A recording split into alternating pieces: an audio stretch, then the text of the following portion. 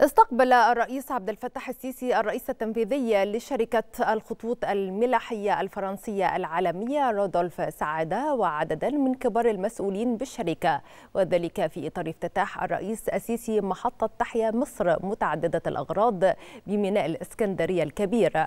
وصرح المتحدث الرسمي باسم رئاسة الجمهورية بأن الرئيس السيسي أشاد بعلاقات التعاون التاريخية الوثيقة بين مصر وفرنسا مؤكدا أن التعاون مع الشركة الفرنسية يمثل قيمة مضافة لتطوير إدارة ميناء الإسكندرية الكبير خاصة على صعيد إنشاء المناطق اللوجستية لزيادة الطاقة الاستيعابية به بما يعزز من قدرته في دعم التجارة والتصدير والاستيراد ويرسخ من مكانة مصر كمركز لوجستي وتجاري عالمي.